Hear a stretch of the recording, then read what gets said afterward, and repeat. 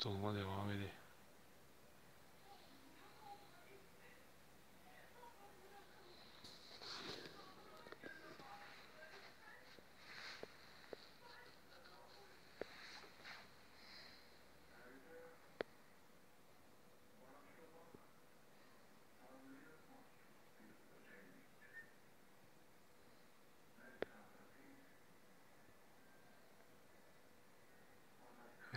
Bulutların arasına gidiyor.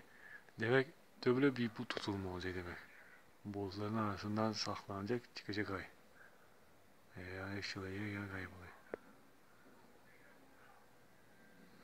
Dün akşam bu tarafta oldu. Demek iki kere tutulma olacak demek.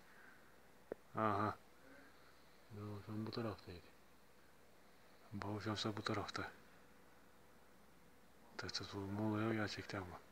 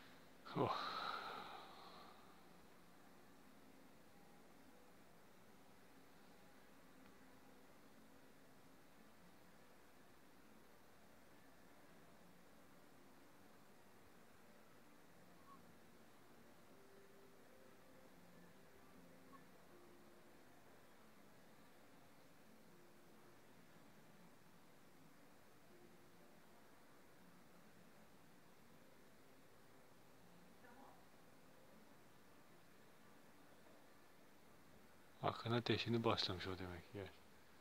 Ha. Tutulma diyese.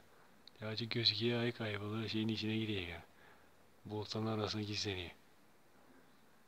İşte tutulma gerçekleşiyor demek.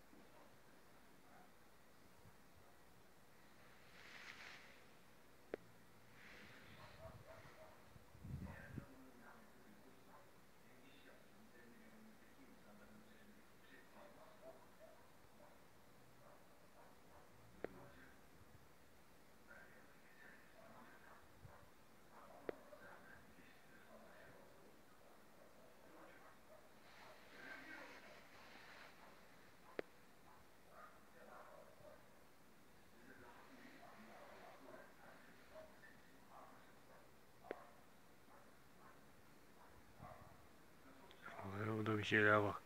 Bambaşka bir şey olmaya başladı. Evet.